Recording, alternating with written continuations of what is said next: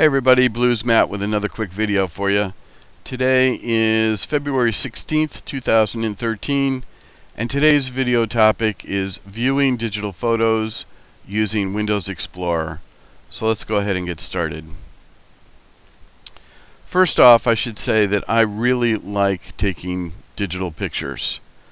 I've enjoyed it for years and years. In fact, if I open up my computer here, and take a quick look at my pictures folder, if I right click it and choose properties, you'll see that I have over 12,000 files or 12,000 images in that one folder.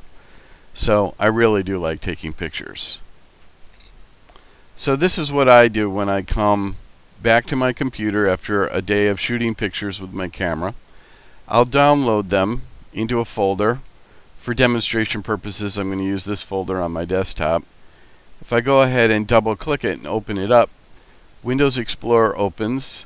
I see a navigation pane here and I see little thumbnail views of the images that are in my folder. Okay, so what I can do here and what I really do is I tend to make the window a little bit bigger. And maybe I'll switch my view by clicking on the More Options button here and switch to extra large icons. This gives me a chance to take a look at the images in the folder as sort of a group and just to get a qu quick idea of how they look on my computer.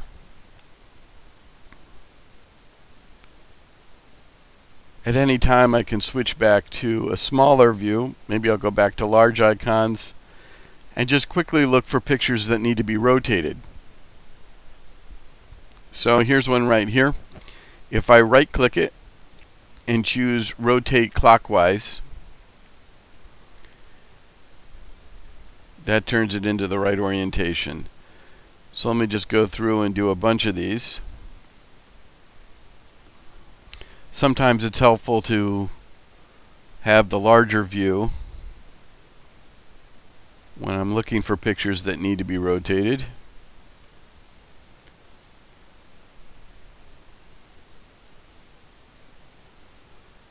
Okay, so here's two pictures that I really want to rotate. So what I can do is I can left click one of them. This highlights it, selects it. Hold down the control key on my keyboard and left click this second one. So now I actually have two images selected, this one and this one. If I right click either one of them and choose rotate clockwise, Now both of them have been rotated for me in, in sort of one operation. So that's kind of a handy trick to know as well. Here's a couple other ones that I want to rotate. So instead of clicking, this time what I'm going to do is left click and hold my left mouse button down and drag over these two images. That selects both of these. Now I can right click either one, choose rotate clockwise, again, and then in, as again, as a group, these two pictures are rotated. If I click anywhere in the window, that deselects them.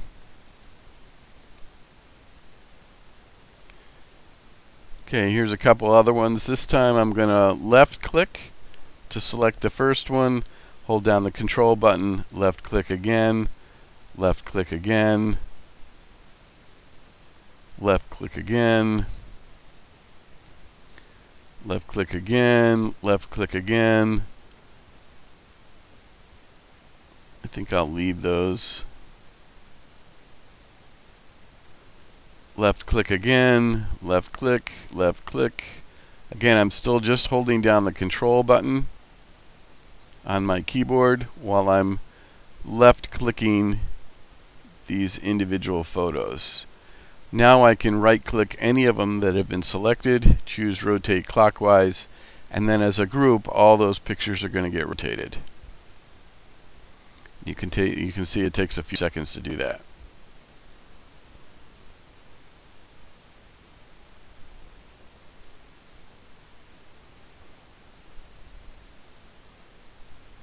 There we go. Here's another one. I can right click this one individually and choose rotate clockwise. So that one of them is rotated. Here's a couple of more. Left click, control button held down, left click again, right click the selected photo, rotate clockwise.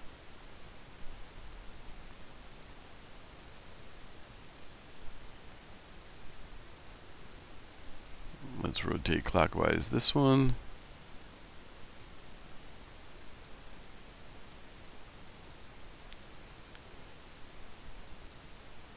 Rotate.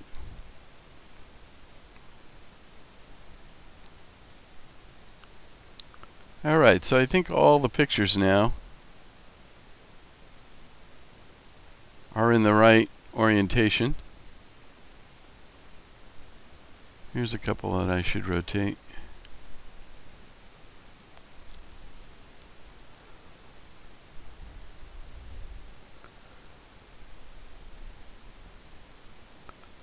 Another one.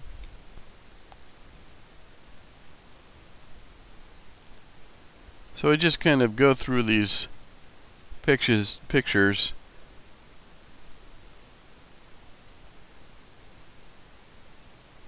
and make sure they're all pointed in the right direction.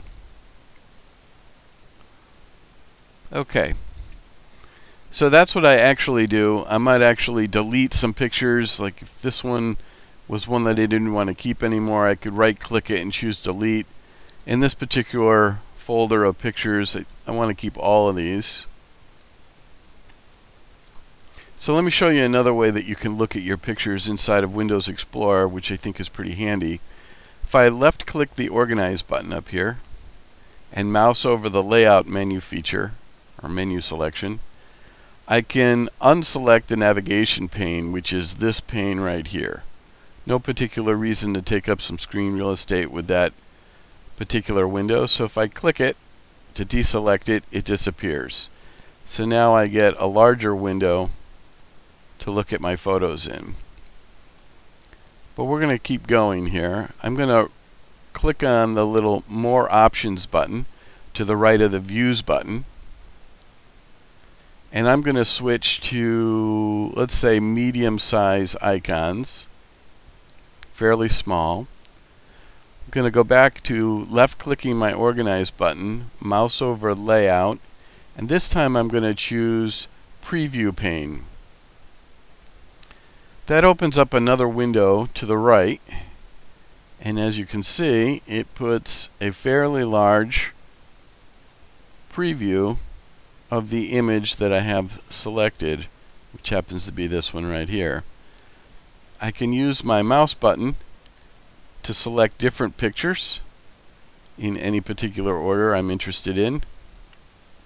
And I can see a fairly large preview of that particular image.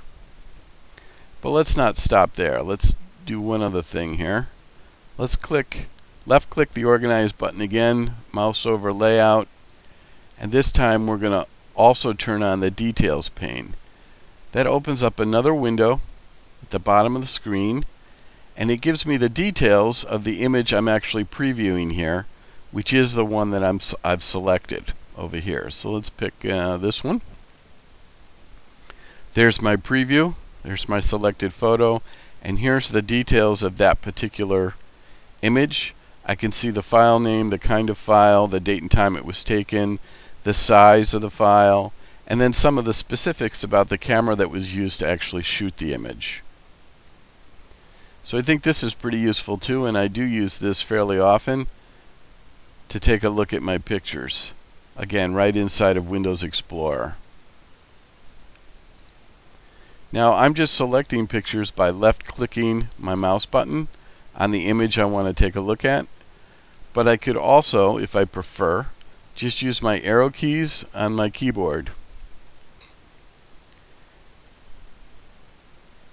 And just kind of scroll through the different images and take a look. Okay. So that's this is pretty handy. I think this is a, a real nice way to take a look at your pictures inside of Windows Explorer. Now let me reset Windows Explorer to the way it was when I originally started this video. So I'm going to turn the navigation pane back on. I'm going to turn the details pane off and I'm going to turn the preview pane off and I'm going to switch back to large icons and I believe I started with a window that was a little smaller something about like that. Okay so that's the way I started this video. Now let me show you another thing that I very often do when I want to take a look at my pictures right on my computer. Right inside of Windows Explorer, I can turn on the menu bar, which right now is turned off. If I click on Organize, go to Layout, you see menu bar is not checked, so it's not visible. If I go ahead and lift, left click it, that turns the menu bar on. Now if I take a look here, you'll see that there's a check mark right here. So what's useful about the menu bar is I can click on Edit and I can click on select all. That selects all the images that are in my folder, regardless of how many there are in there. Okay, so that's a real easy way to select all the pictures. Then from the File menu, I can choose Preview. When I choose Preview, with all of those images being selected, it shows me a full screen view of all of the selected images, which happen to be all the photos in that folder. Now I can scroll through them in full screen view, one at a time, by pushing this next button. If I want to go back, I just push the previous button. If for some reason I wanted to zoom in on a particular aspect of a photo, I could click the zoom button zoom in, and then left click and drag the image around in the window. And now I can see a zoomed in view of the photo. Pretty handy. Now, during my video here, I've already rotated all of my images into the correct orientation, but I could have also chosen to do it inside of this preview mode. So here's the rotate counterclockwise and here's the rotate clockwise. And if while I was viewing any of these pictures in my folder, I wanted to delete any of them, I could do that by hitting the red X. But in this case, I want to keep all the images in the folder. Alright, so I use the preview function a lot in full screen mode like this, and also in windowed mode like I just showed you a second ago to take a look at my photos.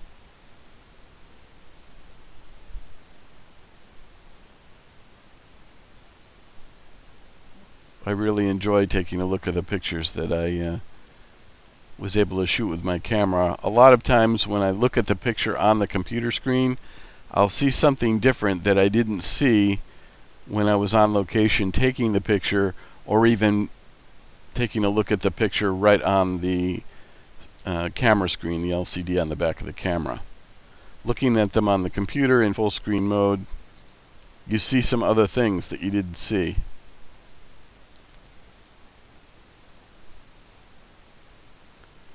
So for example, when I shot this picture, I didn't really realize that the flagpole was not quite vertical. I should have rotated the camera a little tiny bit but that's okay. I could fix the fix this image if I wanted to in a photo editing software program. When I'm done previewing my pictures, I can just X out of the window, and that brings me back to where I started. All right. So I hope this has helped you out a little bit. This is actually what I do. This is how I use Windows Explorer to look at my pictures after I've downloaded them from my camera. This has been Blues Matt. Thanks for watching.